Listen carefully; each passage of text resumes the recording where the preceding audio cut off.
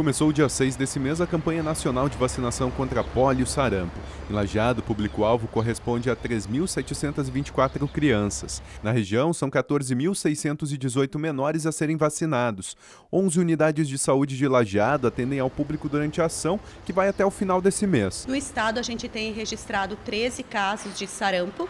Uh, na Grande Porto Alegre, nós temos casos, nós temos casos em São Luís Gonzaga, Vacaria, Alvorada. Então, a gente tem casos muito próximos e a contaminação pelo sarampo ela é muito rápida. Né? Um contato não muito prolongado com um caso confirmado de sarampo, se a pessoa não estiver imunizada, já é o suficiente para contrair a doença e disseminá-la dentro da comunidade. Essa campanha é direcionada para crianças de 1 a 5 anos. Mesmo com os recentes casos confirmados, a busca por imunização tem sido baixa, o que preocupa a Secretaria da Saúde.